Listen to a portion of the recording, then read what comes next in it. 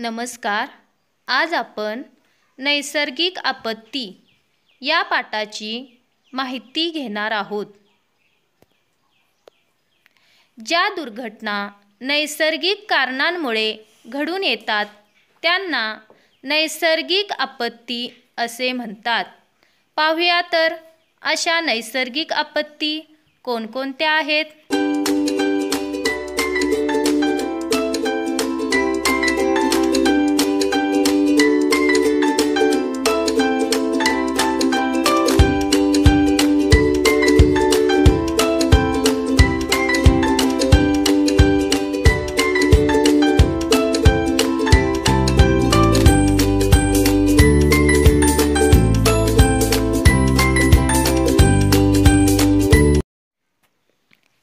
या दुर्घटनांमध्ये अनेक माणसे जखमी होतात.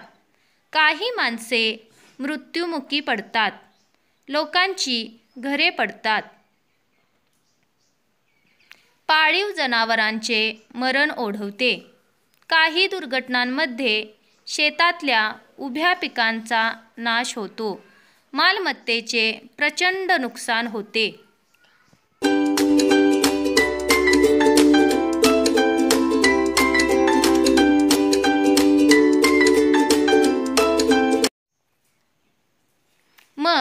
अशा घटनांनी घाबरून जाऊ नये.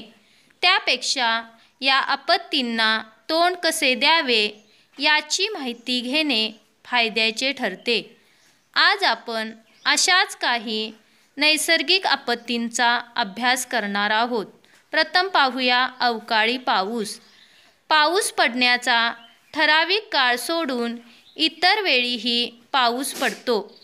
अशा पावसाला अवकाळी पाऊस म्हणतात. बरेच वेळा अवकाळी पावसाबरोबर गारपीट होते. गारांचा मार लागून माणसे जनावरे जखमी होतात.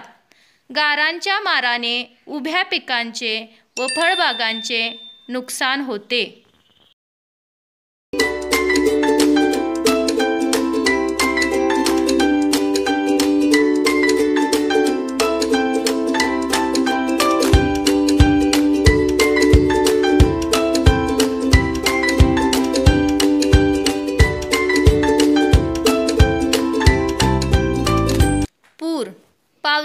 पावसाळ्यात कधीकधी तीन चार दिवस सतत जोराचा पाऊस पडून नदीच्या पाण्याची पातळी वाढते.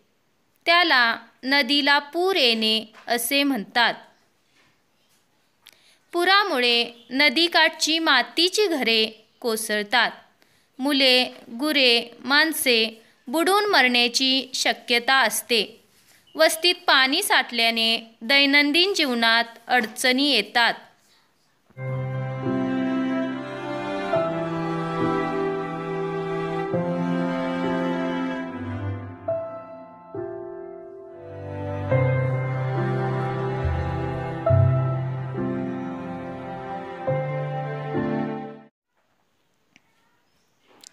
अशा वेळी सुरक्षित ठिकाणी जावे आणि पूर ओसरल्यावर मग घरी परतावे.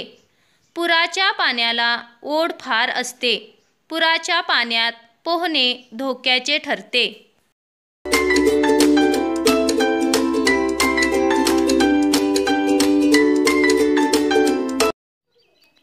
भूकंप. जमिनीच्या पोटात खडकांमध्ये काही हालचाली होतात. त्यामुळे अचानक खडकांच्या थरांमध्ये तरंग निर्माण होतात. काही सेकंद जमीन हदरते. त्याला भूकंप असे म्हणतात. भूकंप होत असताना आपल्या अंगावर आसपासच्या जड वस्तू पडू शकतात. त्यामुळे माणसे दगावतात किंवा जखमी होतात. भूकंप होत आहे असे लक्षात येताच कॉटखाली किंवा टेबलखाली बसावे. शाळा सुरू असताना भूकंप झाला तर बाकाखाली बसावे. भूकंप थांबल्यानंतर रांगेने बाहेर पडून शाळेजवळच्या मैदानात जमा व्हावे.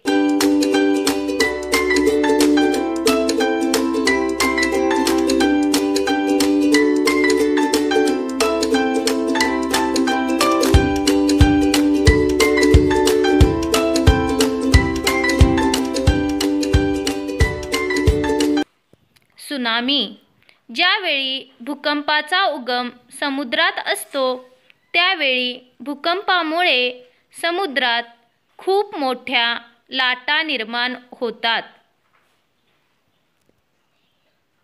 एक एक लाट तीन चार मजली इमारती इतकी उंच असते. या लाटा प्रचंड वेगाने किनारपट्टीवर येऊन धडकतात. या लाटांना सुनामी म्हणतात.